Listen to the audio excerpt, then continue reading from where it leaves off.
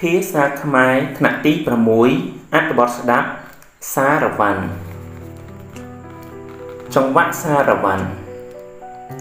សារវ័នគឺជាចង្វាក់មួយដែលជនជាតិខ្មែរយើងនិយមចូលចិត្តរាំលេងកំសាន្ត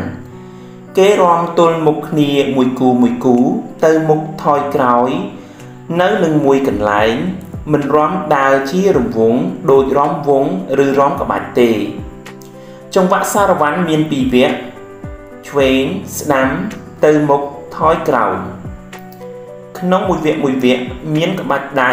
ជើងដងខ្លួននិងក្បាលរួមផ្សំគ្នាក្បាច់ទាំងអស់នេះសម្ដែងចេញស្របគ្នាពេលតែមួយ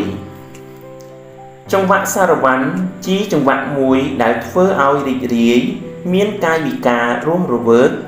និងទទួលការនិយមចូលចិត្តពីសំណាក់ប្រជាជនខ្មែរផងដែរចង្វាក់សារវ័នគេរំទល់មុខគ្នាដេញគ្នាទៅមុខ3ជំហានគោះកែង1ថយក្រោយ3ជំហានគោះកែង1ម្ដងម្នាក់បាទខ្ញុំបាទសូមអរគុណច្រើនសម្រាប់ការតាមដានស្ដាប់របស់លោកគ្រូនិគ្រូទាំងអស់គ្នាបាទហើយកុំភ្លេចជួយចុច Subscribe លើ Channel របស់ខ្ញុំបាទ ដើម្បីទទួលបាននៅវីដេអូថ្មីទាក់ទងជាមួយនឹងអត្ថបទស្ដាប់ផ្សេងៗទៀតបាទសូមអរគុណច្រើនសូមជម្រាបលា